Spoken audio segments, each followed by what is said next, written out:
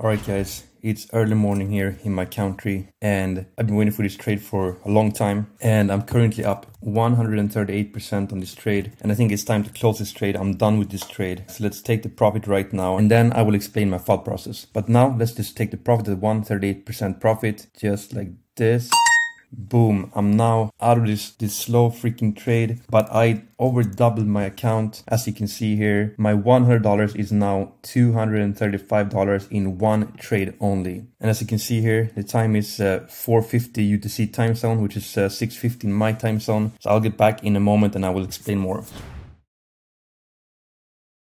all right, I'm back in front of the computer and a few hours ago I closed my short position after several days in that same short at plus 138% profit. So can we please play some nice music here to celebrate that I finally closed my trade?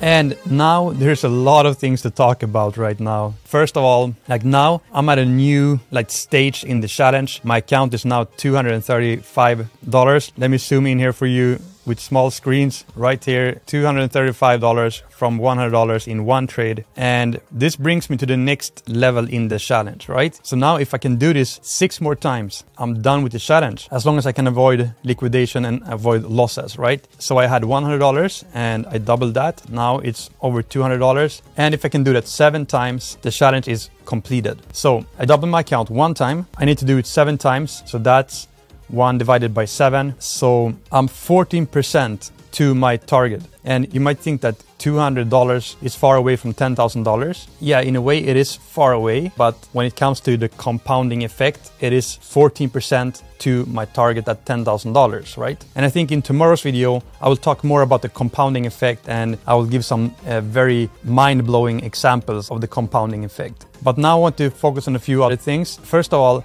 I now have $200 on my account instead of $100. So I have a few options here. Either I can continue trading with only $100 and try to multiply that again to make room for a liquidation. So if I get liquidated the next trade, I only lose my profits. I don't lose my initial $100, right? But also that would require one extra trade for me because if I trade only $100, it is like starting over, but I'm also more safe in a way because I have one more $100 that I can trade with. So I have to decide if I should go all in with all of the money again to use the compound effect from now on, or should I play it more safe and spend a bit more time on this challenge, right? And I think you guys want to see blood. You want to see liquidation or you want to see huge profits. So I think I'm going to go all in in each trade. But I just wanted to let you know that I have this option to play it more safe and, and to only risk my profit now. The next uh, thing I want to talk about is the criticism I got for calling this a scalping uh, challenge but staying in the trade for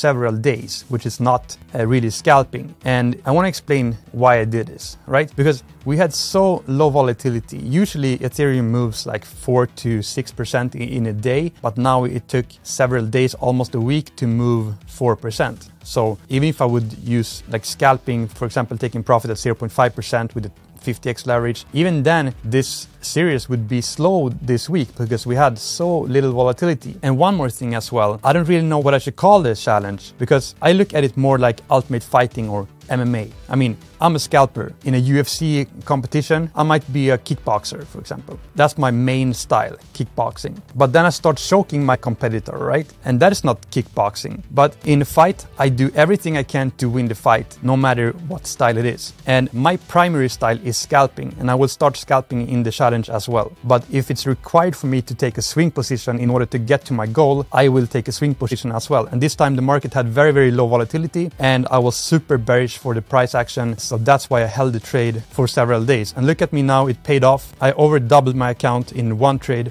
and I took my profit down here and the price is now going upwards. So I also timed my exit pretty well and I might re-enter the same position again if I see the right signs and if the price goes up enough for me to re-enter the trade. So I just wanted to address these questions that I know a lot of you guys have. And one more obvious question I also got from the last few videos is like, I'm a scalper. I usually trade on the five minute time frame. I usually take profit at 0.5%. And that style is also very efficient for me personally. And you guys wonder, why do you not use scalping? Because when scalping, it's possible to grow an account from $100 to like $300 in one day instead of one week. But we had a volatility issue last week, but I also want to explain one thing for you. Trading like I do, scalping, and even this last swing trade, it's 10 times more difficult and complicated when I'm also required to record all of the trades. You might not think that it's a big deal, but it is a big deal because when I trade off camera, I can exit my positions from my phone. I can enter my positions whenever I want to. I don't have to start the recording and wait for it to start. There's always some lag. And I also need to explain what I'm doing at the same time, talking in front of a camera, which also, it takes uh, brain power to also talk at the same time. And I also feel that pressure to perform, to take good trades here, and also, uh, you know, uploading the video and making thumbnails, etc. So doing this on camera is so much more difficult than doing it off camera. So that's why I choose a style, a trading style, where I don't have to spend as much time in front of the computer. Because if I would scalp like five to 10 trades every day, that would be impossible for me to catch all of the trades on camera. And you would probably question if this is real or not if I just record like 20% uh, of all trades. Even this uh, slower style is also more difficult to do on camera. So now I hope I addressed all of the questions regarding this. And for me, it's a scalping challenge because my main style is scalping, but it's also like ultimate fighting. I do whatever it takes to perform well and increase my account as much as possible. And different type of markets might require different type of styles, right? Because this goal is extreme. No one is doing it, especially not on camera. And I might also fail, but I'm trying my best. I'm doing my best to reach the goal. I just wanted to explain to you guys so you understand the of doing this on camera. But yeah, uh, enough ranting. Uh, now I will take a short break. I will collect myself. I will do some more analysis now and I will come back in a moment to see if we can do one more trade today. See you in a bit. All right, might be time for a new short position on Ethereum again because we have that uh, small uh, relief pump that I was waiting for. That's why I took my exit because I was afraid that the price would be going up again. And now it's been going up uh, one and a half percent. And the stock market in the US is opening in 23 minutes from now. And the market is still looking very bearish. And I'm still bearish. Even though I exited my trade, I'm still bearish for the market overall because nothing has changed really. And we didn't test new lows. We just tested support. So looking at the stock market again, we are still in this triangle. And I think we are going to break this triangle to the downside probably today. So I'm very tempted to go into a short position again here uh, because I mean, this looks very much like it's going to go down at least 2%. And if it goes down 2% from here, I will take my profit at 50% profit. Sorry about my uh, previous drawings here. I will uh, keep them here and then change them when I enter a new position. These are my custom lines I added before, as I'm not in a trade at the moment. But I will not take this trade at the moment because what I'm afraid that the stock market will uh, go up even further before the opening of the stock market and I might get uh, squeezed in there. So I will wait for the stock market to open and then I will take the position when I have more confirmation or if the price is going to go up even more. I'll come back in 20 minutes. All right. Stock market is opening in two minutes and it looks bearish. But I'm waiting for the first uh, two minute reaction after the stock market open if we can identify some shift in the market or some potential pump that will destroy our trade. But I'm looking for a short again. Re-entering same short on Ethereum. The price is uh, about 0.6% higher than my take profit on the previous trade. All right, stock market is now opened and nothing is happening so far. All right, we're going down shorting right now.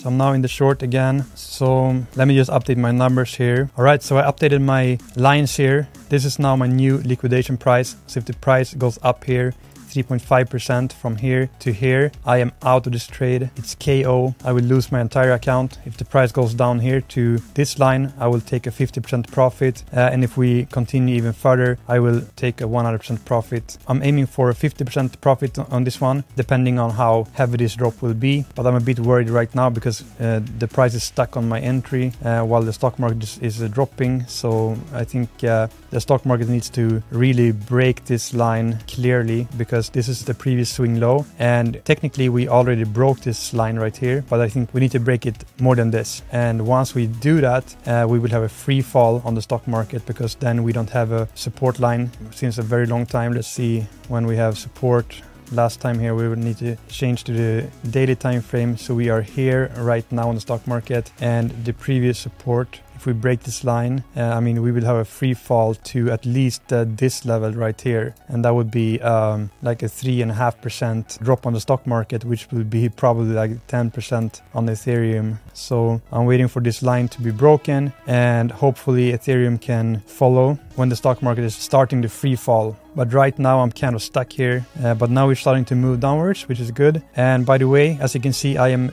trading on Bybit because I think that's the best exchange for uh, scalping, day trading, and swing trading. If you also want to trade on Bybit, you can go down to my description down below in this video. You can click on my affiliate link to create an account. It takes only 20 seconds, and you can also get the welcome bonus after your first uh, deposit here. But I want to emphasize once again that what I'm doing here is not recommended. No one should copy me. No one should try this because what I'm doing is extremely risky. If the price goes up to this line right here, I am liquidated, which means I will lose my entire account. But I can afford that because the money I have in my account is money that I consider gambling money, and I am completely fine losing 100% of my gambling money. All right, look at this, guys. We just broke this line, and we have a new uh, one-hour candle in two and a half minutes. And if that candle starts in the red and continue downwards, I think this trade is a winner. But I will not hold this trade for as long as the previous one. I will play it more safe and I will take my profit uh, sooner, probably already today. Ooh, look at this. The free fall has started. We now officially broke the support on the stock market for the first time in a long time. This is really, really bad for the stock market and it's bad for crypto. It's bad for everything basically. We have no bottom for the stock market. Look at this on the daily. Where should the price stop? I mean, it can go down forever here. We could have a very big daily candle here, a red one. We can have one of these, you know, uh, minus five and a half percent on the stock market. We can have one of those. That's not impossible at all. And imagine then Ethereum when the stock market is going down like five and a half percent. That would be a complete mess, guys. I'm here to profit from that. I am one of those guys. Feels kind of bad, but I mean, I'm going to buy back in, in a moment here, and it's a, such a small amount. I don't affect the price whatsoever, anyways. It doesn't matter. I'm just a very, very small fish in this game a small fish who wants 50 or 100% profit on this trade. And looking at Ethereum here, we are testing some significant support line on the daily. Let me put the line here to make it clear. We have some daily candles closing in this area and we are now around this range and this could be a bad sign for my short position. We could easily wick up here and use this line as a support. But considering the stock market has a free fall right now, the stock market does not have this support, only Ethereum, which means that Ethereum has to be very, very strong uh, against the stock market to be able to use this line as a support. But when the stock market is completely falling in a free fall, then I don't think Ethereum can use that line as a support. I think we will just crash down from this line. Could be wrong, but that's the most logical thing to happen in my opinion. And once we break this line for Ethereum, I think Ethereum will also have that free fall at least for a few more percentages. Like look at this, the next uh, support we have is down here, and that would be uh, like um, three and a half, four percent down, and that's a 100% profit for me if we go down there. But let's not be cocky here. Let's be realistic. I might uh, be completely wrong and I have to be ready to exit this trade uh, very fast if I see the wrong signs. Price action going upwards uh, in a fast pace. I need to get out as soon as possible.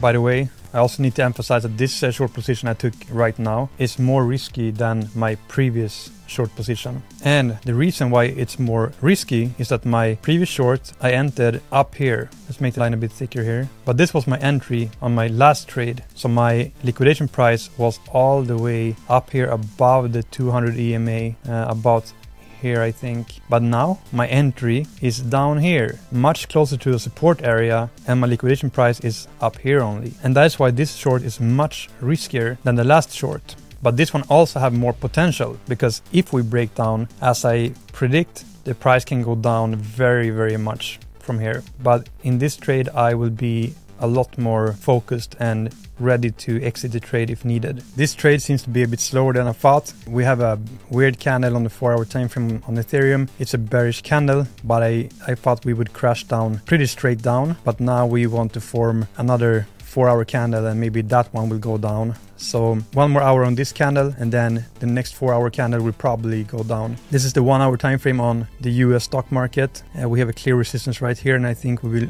just continue to crash down right after this one hour candle. So I'm still pretty confident about this trade, but I cannot exit the trade right now and I need to leave. So I will exit the trade tomorrow. With that said, thanks for watching and see you tomorrow.